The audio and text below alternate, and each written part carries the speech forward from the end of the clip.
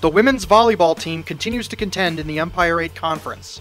Their 2018 season resulted in the program's third straight postseason appearance and a 6 2 record in conference play. Libero Elise Cruz finished her senior season ranked second in the Empire 8 with 543 digs, the ninth most in a single season in program history, and her 1,620 career digs place her fifth on Fisher's all time list. The All Conference honorable mention from Buffalo also recorded 85 assists and 50 service aces. Fellow libero Tori Laratonda appeared in 19 sets as a senior, recording a total of 5 service aces and 19 digs for the Cardinals. By competing with honor and integrity, Laratonda was named Fisher's Empire 8 Sportswoman of the Year.